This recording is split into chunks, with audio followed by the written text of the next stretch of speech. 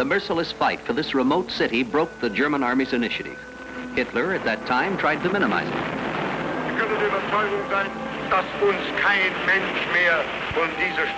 You may be convinced that no one shall evict us from this place. We had to get here because this city was the enemy's largest supply base. The city had to be taken, and we did take it. Of course, we are modest. We took only what we needed and left out a few spots. Why haven't they been taken yet?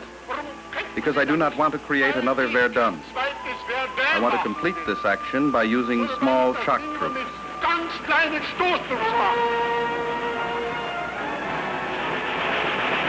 But the shock troops who won were those wearing the Red Star.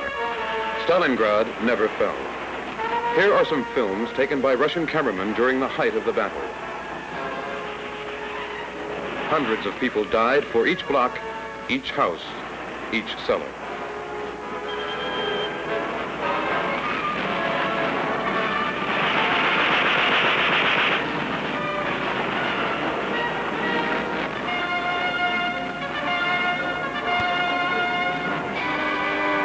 Hitler's Sixth Army, or rather what was left of it, and its commander, Field Marshal von Paulus, on their way to the prison camps. By that time, the generals knew that Hitler had misused them and their men, but too late. A few months after Stalingrad, German prisoners are led through Moscow's Red Square in the war's most appalling parade. These are newsreels never previously shown in the West. Now, millions of fathers, brothers, and sons go to Russian prison camps. Even today, millions are still missing. They were the victims of a group of criminals and maniacs who had promised heaven and delivered hell, who had exploited and soiled the good name of an entire nation.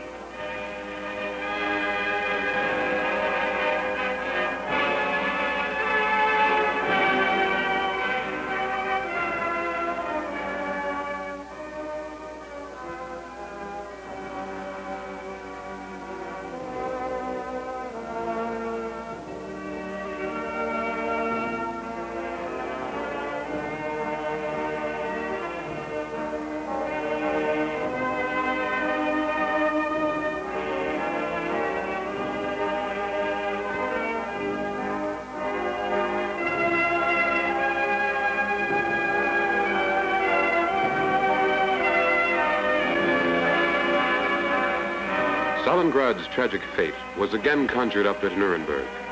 Field Marshal von Paulus is at the witness stand, being interrogated by his lawyer. Und ich darf sagen, dass Sie trotz Ihrer schweren Bedenken und Kenntnis der Tatsachen,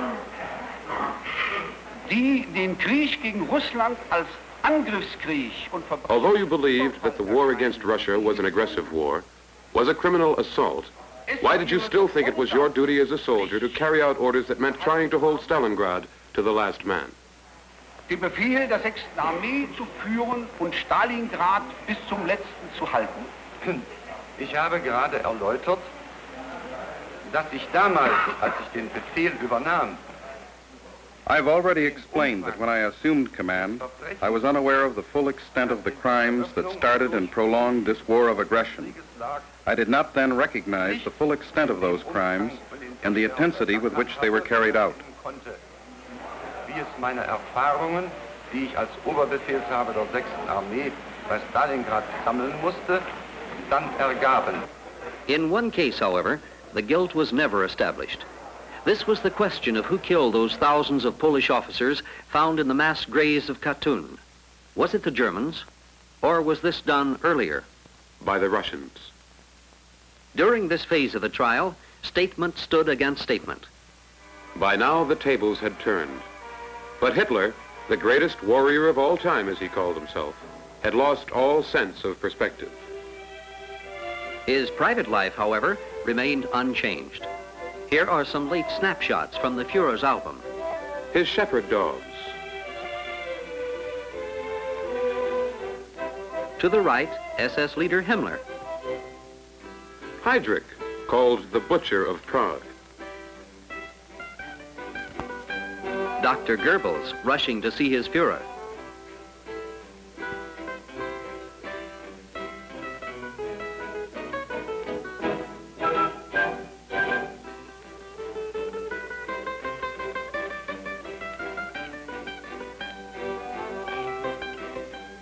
In style at his Berghof.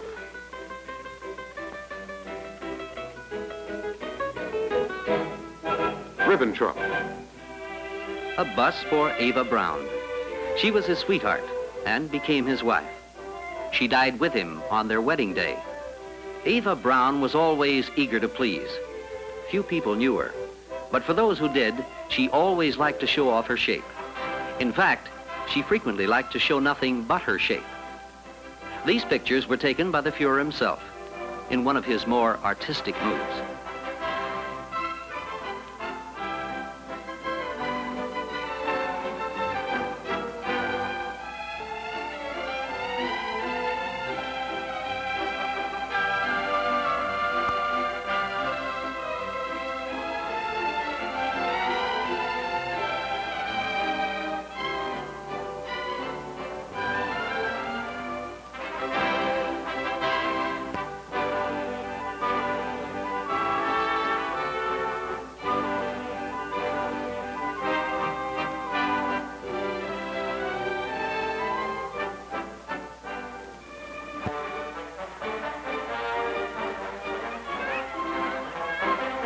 Children now were taken from their parents to become the wards of the regime.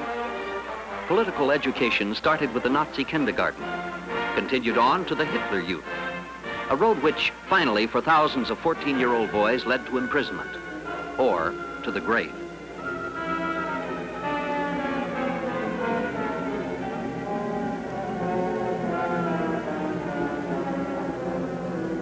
Hitler's gang had no consideration for human life for human dignity.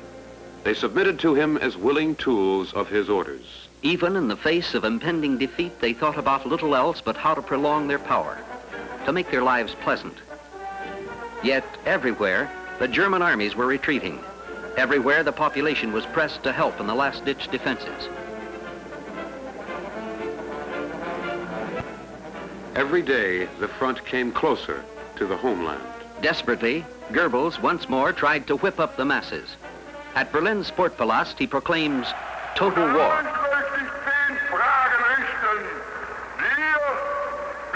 And thus I shall ask you a question. A question which you must answer for the entire German people, for the entire world, and especially for the enemy who at this hour is listening to the radio.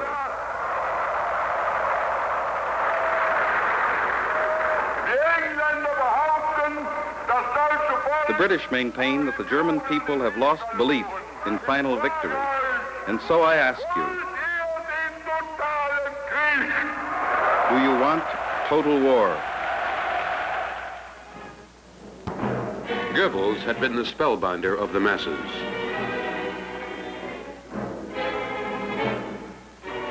The propaganda minister organized collections for charity, toys for children, and press conferences. He controlled every phase of radio, film, and press. The German public was permitted to hear, to see, to learn only what he wanted them to know.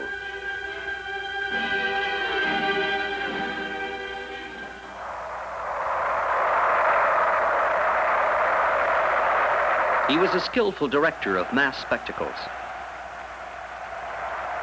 Here, he's giving a mass party for SS leader Skorzeny after Skorzeny had abducted Mussolini from the prison where the Italian people finally had placed him. Skorzeny is permitted to distribute medals. For Goebbels, this is a welcome opportunity to instill new fighting spirit in the laggard masses.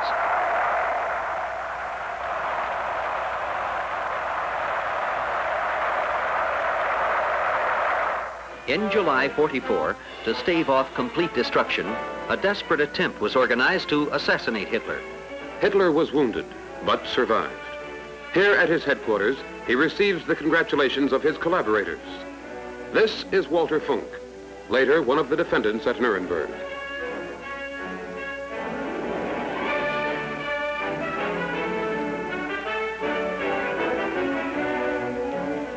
The chief of his chancellery, Heinrich Lammers, later a Nuremberg witness. General Schörner, the German army's dreaded provost marshal. Goering. Once more, Goebbels. To the right, Hitler's brother-in-law, Fegelein. Hitler had him executed during the last days of the war. Like all military leaders, Admiral Dönitz, who during the last days had been designated as Hitler's successor, disclaimed all responsibility. His lawyer. Were you politically active before 1933? My first political activity took place on May 1st, 1945, when I became the head of the German state. Never before. Mai 1945 als Staatsoberhaupt wurde, vorher nicht. Ammunition still felt that the Germans nearly won the war. Under a dictatorship, there are always a number of basic omissions which arise from the lack of permissible criticism. It was due to these that by 1942, we didn't have twice as many tanks, planes, and U-boats. A few basic omissions. Actually, Hitler had completely underestimated the enormous potential of his adversaries. He had never believed the United States would come into the war. In the summer of 1944, the Allies, with unprecedented masses of men and material at their disposal, had started the invasion of France. They came by sea, by air. They came by fleets of amphibious vessels.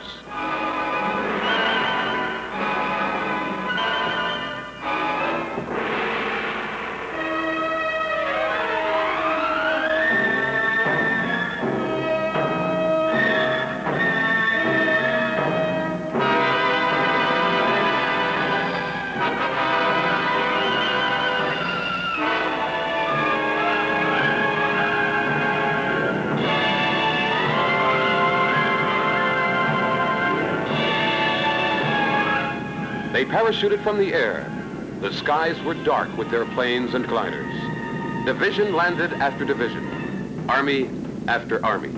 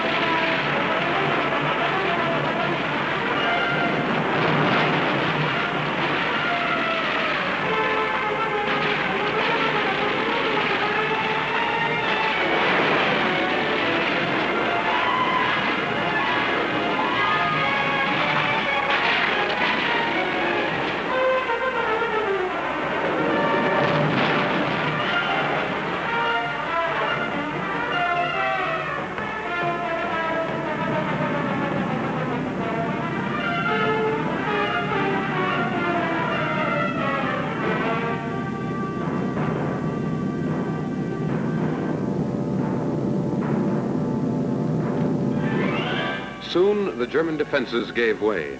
The Atlantic Wall was broken. The road to Paris was free. And then Paris was liberated.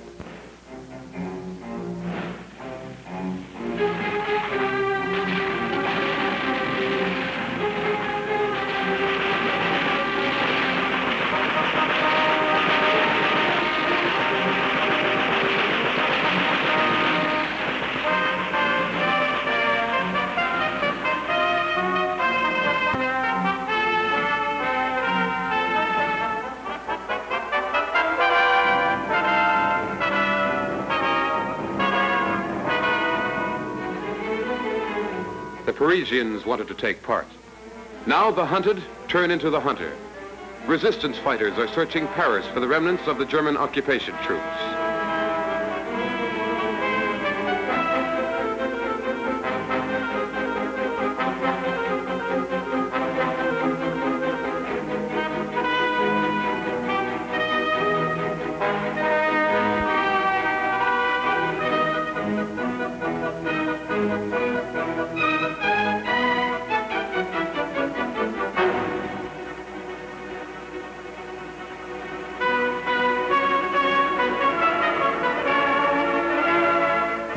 This now is a different victory parade over the Champs-Élysées.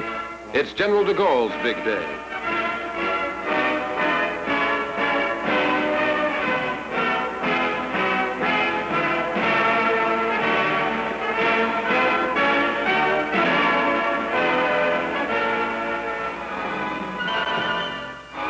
Last acts of despair by the German High Command. The sluice gates are opened to flood wide areas of the Netherlands. Crimes to no avail.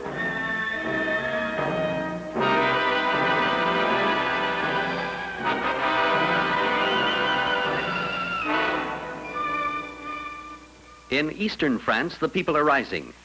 The Maquis are calling for the last fight.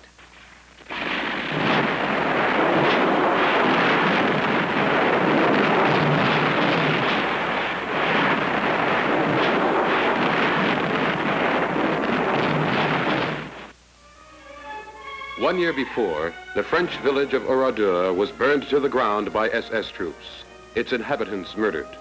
Acts like this fanned the strength and fury of the resistance movement.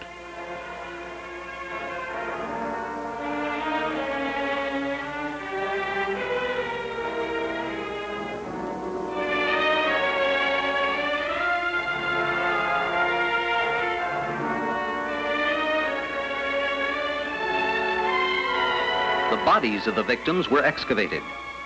Some of the SS murderers were caught at the time of the liberation, but the real instigators were tried at Nuremberg.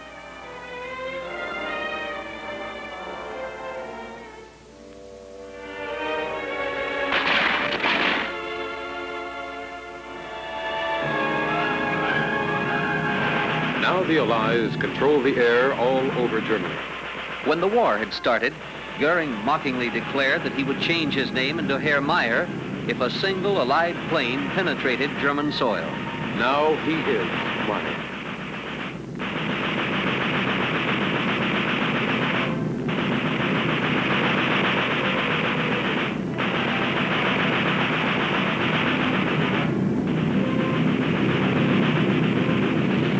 The remnants of his air force are being destroyed when and wherever they meet the Allies. Hitler had boasted of his miracle weapons, but they were too few, too hastily developed. Here is a V-1, a guided missile on its way to London. This one never reached its goal. Others were caught by the aircraft defenses.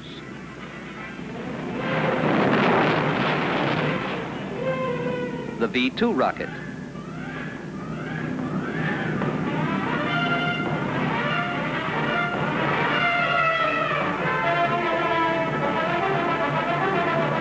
But many had trouble leaving the ground.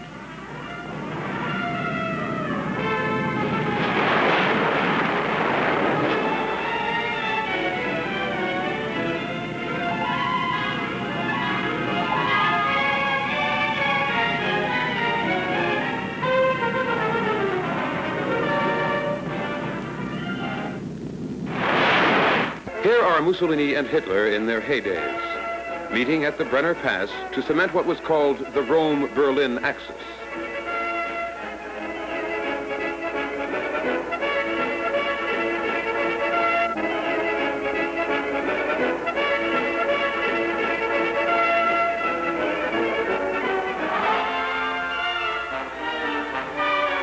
But now Mussolini is dead.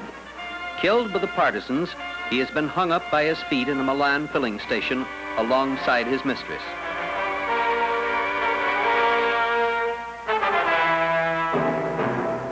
And this is Winston Churchill, the man who had promised his people nothing but blood, sweat, and tears, and who finally reaped the victory.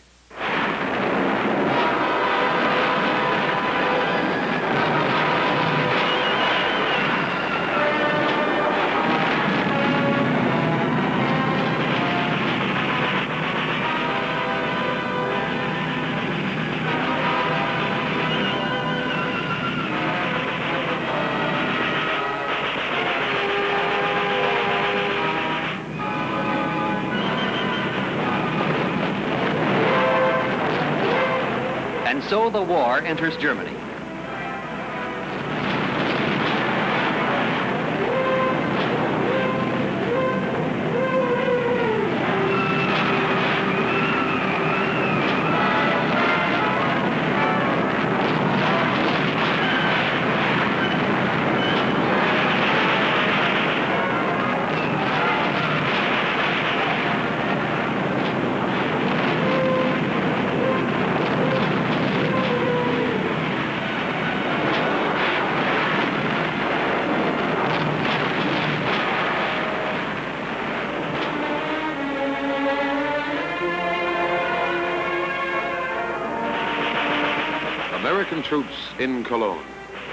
Reached the Rhine.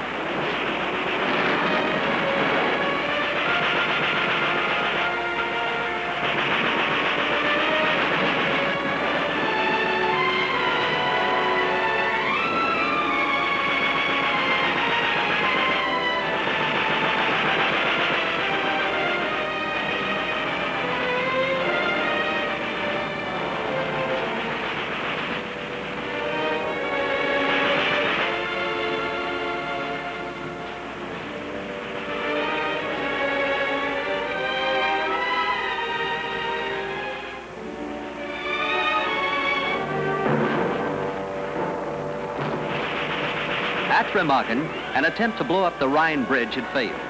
Now the Allied troops are pouring over it.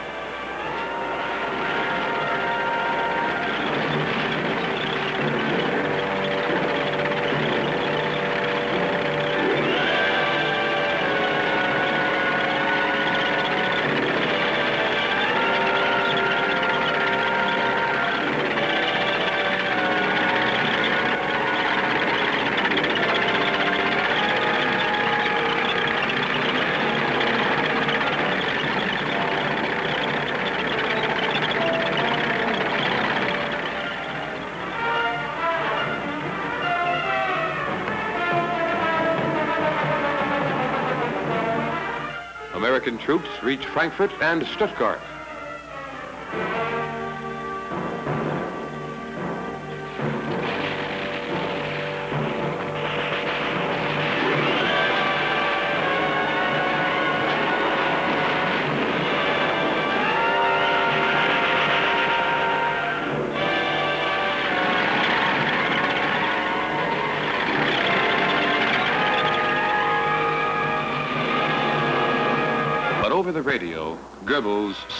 Der ganzen Welt zu beweisen, dass Deutschland nicht nur an der Front, sondern auch We want to prove to the entire world that Germany, not only at the front, but everywhere else in the homeland, has an army of dedicated men, is imbued with a strong and unshakable will, never to lower our colors before the enemies of the Reich, never to capitulate. Feinde des Reiches die Flagge zu streichen und feige zu kapitulieren. Aber überall an der Front und in der Everywhere, at the front, at home, um the German people have proven that they are a nation of men and, if necessary, also of determined women, and not a nation of frightened weaklings. und nicht eine Nation von feigen Memmen.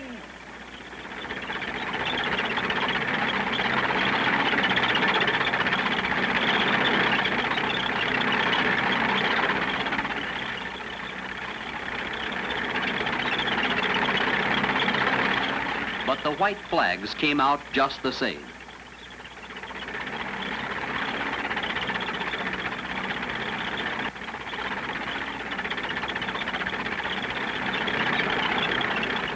Only Berlin is still being defended. The remnants of the German armies are fighting against the Russian spearheads. Hitler sits deep down in the bunker of his chancellery, waits for the miracle to happen. He has given orders never to capitulate.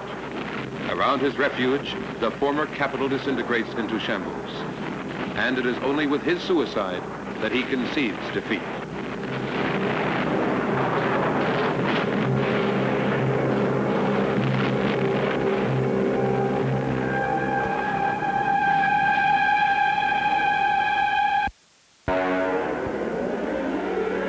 It was the end of his thousand-year Reich.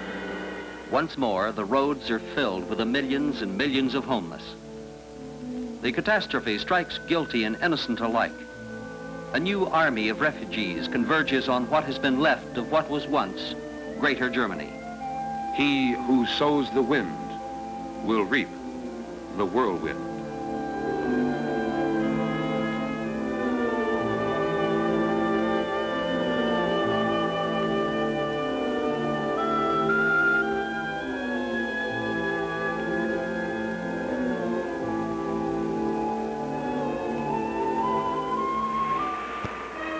The Nazi regime, 10 million people throughout Europe were persecuted, tortured, and finally killed because of their race, their religion, their political attitudes.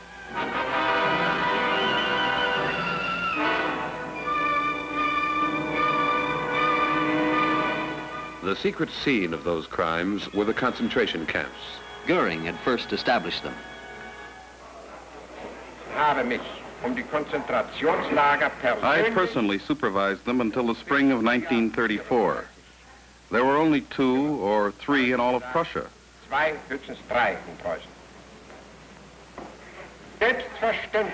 Of course, occasionally some of the prisoners were slapped. Slapped? Here is General Eisenhower, being shown a block on which thousands of prisoners were clubbed to death. For the first time, the world perceived events which would have defied human imagination. At Bergen-Belsen, British troops discovered the bodies of 12,000 victims still unburied. 13,000 lay dying. These movies were shown to the accused in Nuremberg. They looked away.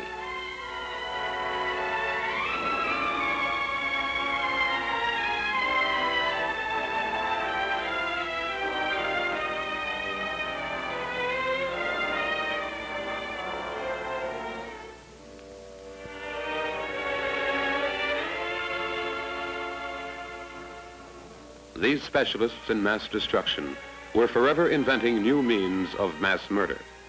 To the outside world, they posed as humanitarians. During the winter, they took to the streets, shaking boxes to help the poor. Love thy neighbor, they proclaimed.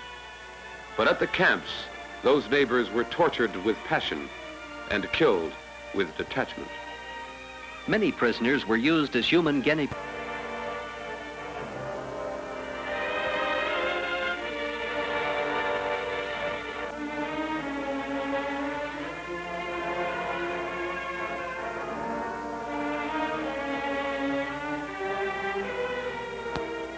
Concentration camps, where the inmates were killed on the gallows or by lethal injections.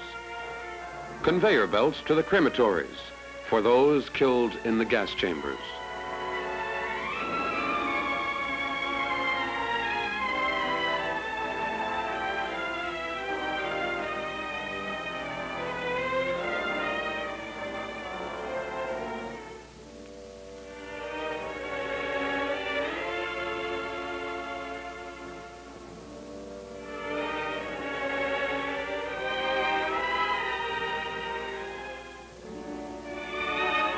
At Auschwitz alone, three million Jews were asphyxiated.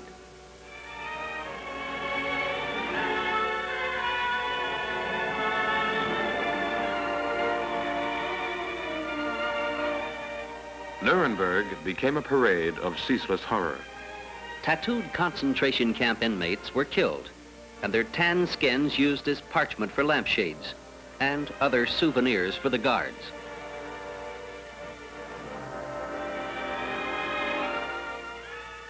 Some camp doctors, as a hobby, tried their skill at head shrinking. In charge of the death camps was SS leader Kaltenbrunner. Ich habe einen einzigen Befehl nach Mauthausen gegeben. I issued only one order to the Mauthausen camp, to surrender the entire camp, intact with all its prisoners, and without any abuse to the enemy.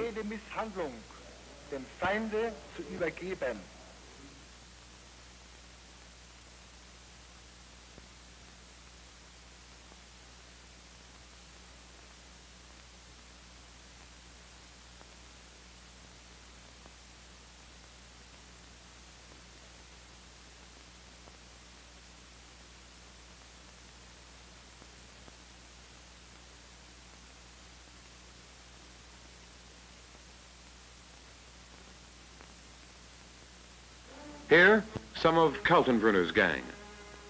A camp commander.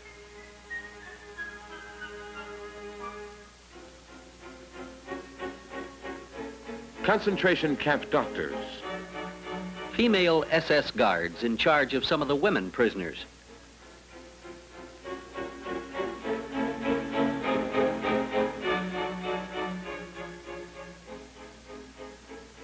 Special killing squads.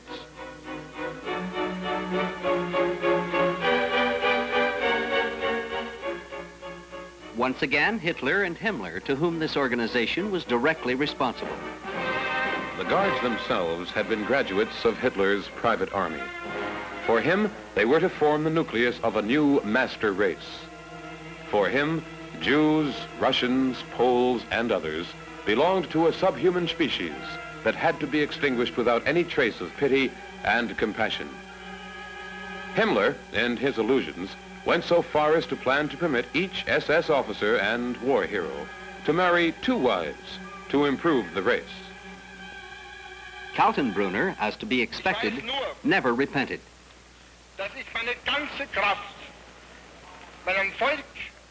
I only know that I've given my life's work to my people, to my belief in Adolf Hitler. If in my activity, in a mistaken sense of duty, I committed errors, such errors become inconsequential if compared to the powerful stream of our common fate.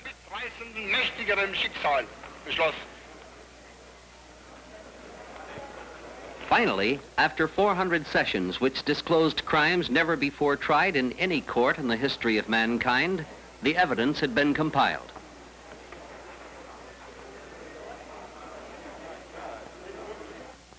Before judgment is pronounced, however, the accused are permitted to make their final statements. Will they declare themselves guilty? Will they continue to deny their participation? Will they try to put the blame on others? Listen to the former Supreme Commander of the Wehrmacht, General Keitel. I have erred, and I was unable to prevent what ought to have been prevented. This is my guilt. Ist meine Schuld.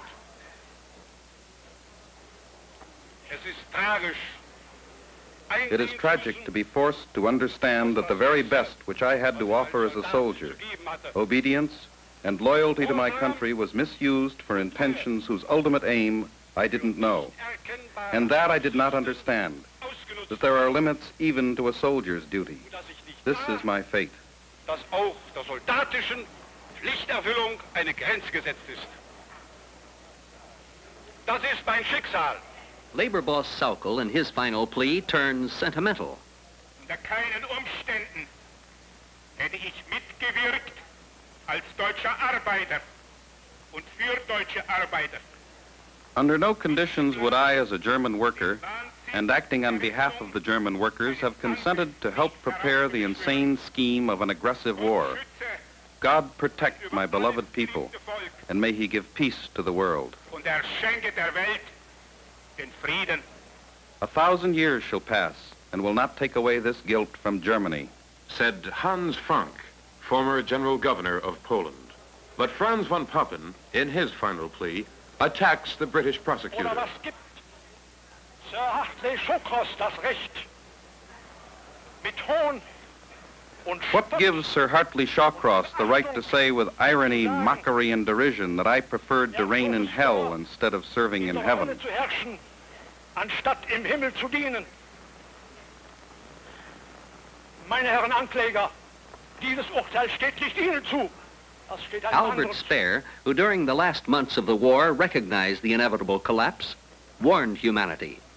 Wenn aber ein moderner Industriestaat seine Intelligenz, seine Wissenschaft, If a modern industrial state for a certain number of years uses its intelligence, its scientists, its technological means of production for the exclusive purpose of forging ahead in the armaments race, the likelihood arises that such a state, even with a small population, can gain a chance for world conquest, especially if, during the same period, other nations are using their technology for the cultural advancement of their people. Nationen in der gleichen Zeit ihre technischen Fähigkeiten für den kulturellen Fortschritt der Menschheit verwendeten. Baldur von Schirach, It was my guilt that I educated Germany's youth in the spirit of a man who was a murderer of millions. Baron von Neurath, who had wasted a good name for a very bad cause. So werde ich auch das zu tragen wissen und I shall accept my verdict, shall consider it as the last personal sacrifice for my people, whom to serve was the core and the meaning of my life. der Inhalt und der Sinn meines Daseins war. And here is Hans Fritzsche, formerly the chief commentator for the German radio network. Ich möchte die große Chance des letzten Schlussworts in diesem bedeutsamen Prozess nicht verschwenden mit der Aufzählung von Einzelheiten. I don't want to waste this great chance of this final plea to lose myself in details. Well, you gentlemen did not expect anything good to come from Hitler, and you were struck by the extent of what really happened. But try to understand the feeling of those who did expect good to come from Hitler, and who then found out how their good faith, their goodwill, their idealism was grossly abused. Und ihr Idealismus missbraucht wurden.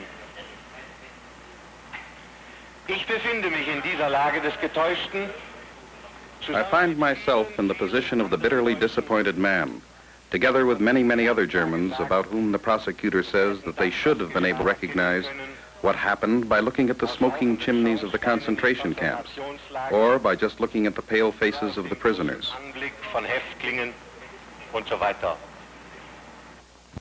There is breathless silence in the courtroom as the president of the court starts to read the verdicts of a trial which has lasted eight months. Here are some. Ribbentrop. Death by hanging. Keitel. Death by hanging. Goring. Death by hanging.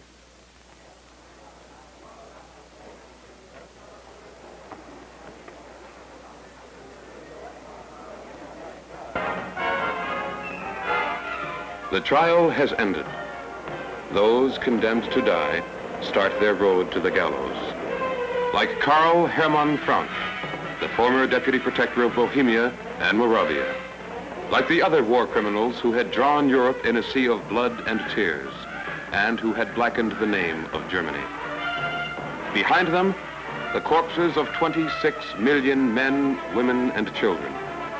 The sorrow of the cripples, of the homeless, of the widows and orphans, of an entire nation that over a span of 12 years had excluded herself from the community of mankind.